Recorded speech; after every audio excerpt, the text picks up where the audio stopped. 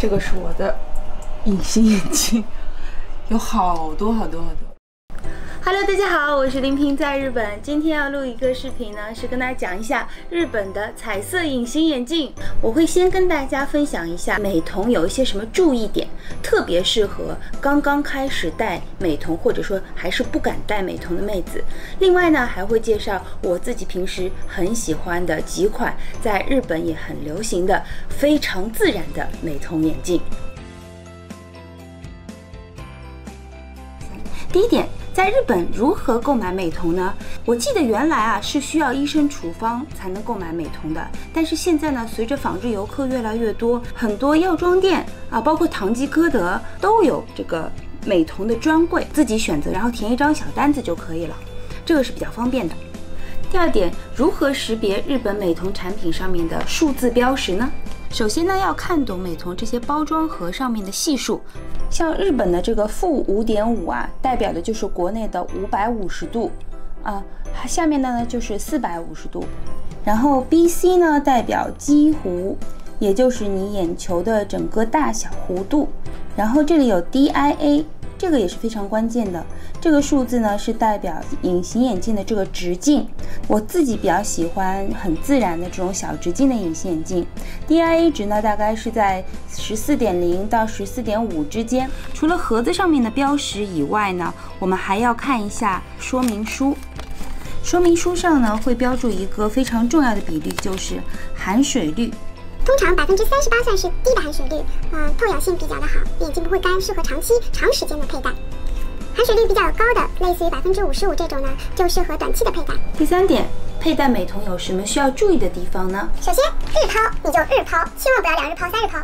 千万不要戴着隐形眼镜过夜，这个是最基础、最基础、最基础的常识。佩戴隐形眼镜的时候呢，也一定要记着先要把手洗干净。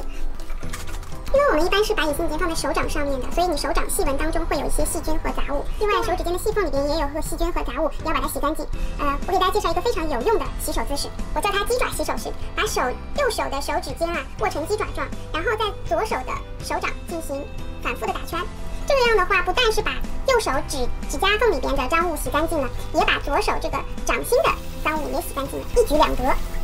另外，洗完手是不能用毛巾擦干的，因为毛巾上面会有很多的纤维，会让隐形眼镜上面会沾满这种毛巾的纤维。那我建议你啊，就是以这样的一个湿的状态来戴隐形眼镜也是没有问题。说了那么多，终于到了大家期待已久的试戴环节了。日本的美瞳呢，大致可以分成三种，一种呢是自然系的，每天上班都能够戴；第二种呢是混血系的，它会出现这种呃不同的颜色啦，然后会有一些光泽啊；第三种呢是视觉系 cosplay 戴的。我个人啊是比较喜欢呃。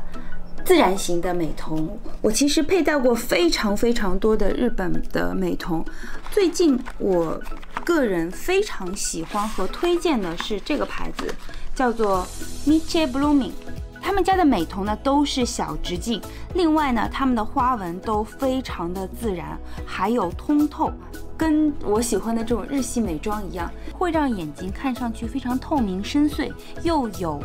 呃立体感。虽然他们家的款式有非常非常的多啊，每一款呢基本上都非常的自然，但是在这些挚爱当中还有一个最爱，就是这款 Ivy Lady。如果没有它，我觉得我的世界都是灰色。十四毫米的一个小直径的，其实它非常简单的一款，因为我的眼眶比较小嘛，然后眼睛呢是有点棕的。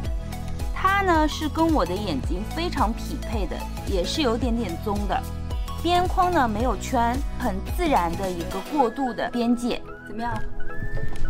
可以看出来就是瞳孔非常自然的给它放大了一点点。这个 Miche Blooming 的 Ivy Lady 啊，我自己叫它自然女王斩男款，不管你是上班上学，不会得罪女生，而且还可以获得男生的青睐哦，就是。带着它去约会，哎呀，估计男朋友看不出来。接下来要介绍的一款，它叫做 Sepia Rich，可以看到它的颜色呢，要比刚刚的呃 Ivy Lady 啊深很多，周围边上呢还有一圈淡淡的细细的黑环，可以看一下，这个就是对比的效果啦。整个眼球的这个轮廓更明显。可以看到我的选择依然还是跟我的发色还有瞳孔的颜色是一致的。它有一个小心机，它是在美瞳的边缘啊加了一圈很小的黑边，能够让整个眼球的这个轮廓更明显。啊，你的眼睛又更加有神，搭配上比较呃深一点的眼线啊，黑色的眼线的话，就会让你整个眼睛大上好多。另外一款呢叫 Eye Dict，它跟一般的美瞳有很不一样的地方哦，就是它是加了。紫外线吸收剂，它能够吸收百分之七十以上的 UVA 和百分之八十五上的 UVB，因为它是加了紫外线吸收剂的，这样的话就非常适合去户外的时候佩戴啊，登山啦，去海边啦，然后去滑雪啦。因为我是黄皮嘛，所以除了红色、棕色跟我头发色一样的，我也会选择有一点点偏绿色系的美瞳，这样会显得肤色比较好。会让眼睛觉得非常的柔和，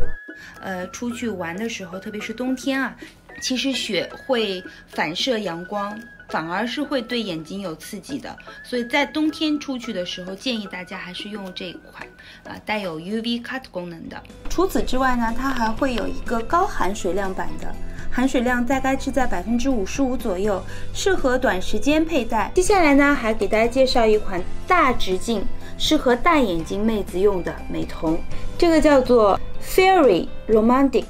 就是我在心情比较好的时候会佩戴的小颜色。其实林大人推荐的基本上颜色都不会过火。Fairy 的十四点五直径的隐形眼镜，如果不是眼睛特别大的妹子呢，像我这样的小眼睛的妹子呢，也是可以驾驭得了。前提是你要画一个非常完整的妆，要加上眼线和眼影以及整个妆面，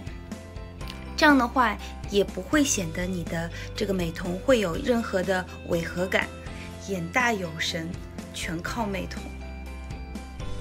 那最后还是要强调一下，虽然就在日本啊，使用美瞳已经非常普遍了。那么，如果我们在日本买了美瞳回回到国内呢，如果有任何的这种眼睛不适呢，需要赶紧停用。呃，有必要的时候呢，要看医生哦。